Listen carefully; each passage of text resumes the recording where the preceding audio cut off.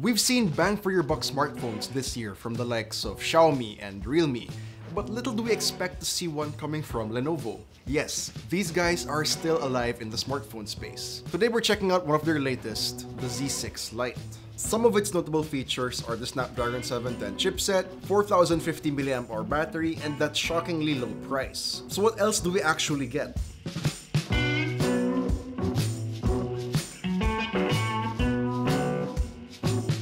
At first glance, the Z6 Lite looks like most mid-range smartphones you'd see nowadays, especially with that dewdrop notch and gradient back design. The unit we have here has a more unique type of gradient though, it's called the Stardust color, which changes from green to purple depending on how you move it around. And as the song goes, it's shining, shimmering, splendid. Okay, that was bad. And because of that, it's very prone to fingerprints and smudges, so better use that clear case included in the box to keep them spark alive. The body does feel relatively cheap though due to its plastic body, but we're not complaining. Ergonomics are good and it actually feels pretty good in the hands. It's also pretty light, which is nice. Also found here at the back is the triple rear camera setup along with the fingerprint scanner. Along the notch, you'll find the front camera, the call speaker, and the LED notification light. For ports and buttons, there's the power button and the volume rocker on the right, the hybrid dual SIM tray on the left, and the headphone jack, microphone, Type-C port, and loudspeaker at the bottom. The device has a 6.3-inch Full HD Plus display and to put it simply, the display looks great. It's sharp and the colors are accurate, viewing angles are also good. There's also HDR10, but unfortunately there's no option to remove the notch, so there's that.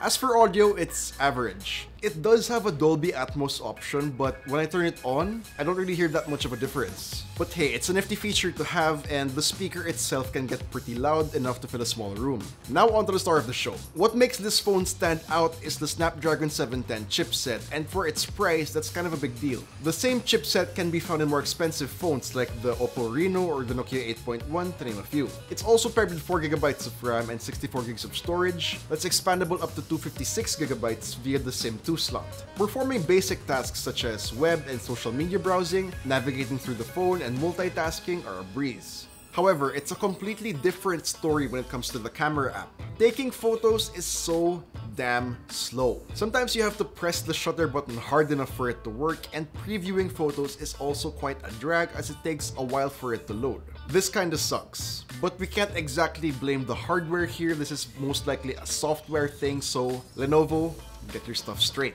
Now for gaming, we were able to play PUBG Mobile and Asphalt 9 without any hiccups, but then again, it's best to play these games at medium settings so you can get a smoother experience. But of course, you can stay at high settings, but you may experience a little bit of frame drops here and there. For biometrics, you only get a rear fingerprint scanner. It works quite well, but there's a slight delay to it every time you unlock the phone. Now for the OS. It runs ZUI 11 based on Android 9 Pie. It's not my favorite skin, and as I mentioned earlier, some stuff can be slow because of the software, but in terms of looks and usability, it would suffice. It's simple and clean clean and there's not much bloatware. It also has this feature called 4D Touch, which I know sounds really dope, but really it's just this feature to hide the navigation bar below. Battery-wise, the Z6 Lite is packed with 4050 mAh of capacity with 15 watt fast charging. In our video loop test, the phone yielded a solid 22 hours and 15 minutes. Noise! In real-world usage though, the phone lasts me pretty much a day or two. Charging is also pretty fast at approximately one and a half hours, which is good considering that big capacity. And now let's check out those cameras. At the back, we have a triple camera setup consisting of 16 megapixel, 8 megapixel, and 5 megapixel cameras, while for selfies, we have a 16 megapixel camera.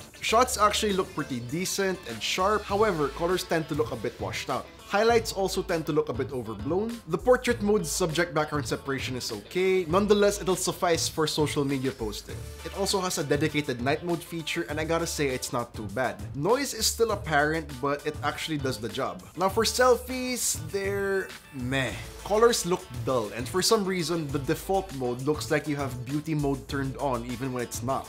It's just downright disappointing. For videos you can shoot up to 4K in 30 FPS without video stabilization at all so footage can get shaky. As for quality, it's okay I guess. It'll suffice for casual social media posting. Lenovo did honestly quite a good job with the Z6 Lite, but it doesn't hit all the marks. Yes, you have the HDR10 display, the Snapdragon 710, and that long battery life, but the cameras? Not impressive at all. Perhaps with the future software update this can be fixed as the software seems to be the culprit here, but for now it's just not cutting it. But for its low price of under 10,000 pesos, I think the Z6 Lite could be a good contender alongside budget smartphones such as the Redmi Note 7 and the Realme 3 Pro. So what about you guys? What do you think about the Lenovo Z6 Lite? Let us know in the comments down below and if you enjoyed this video please do drop a like, subscribe to our channel for more content, hit the bell icon so you don't miss any future uploads and be sure to visit yugatech.com for the latest tech news and reviews. This has been Joey, I'll see you guys in the next one.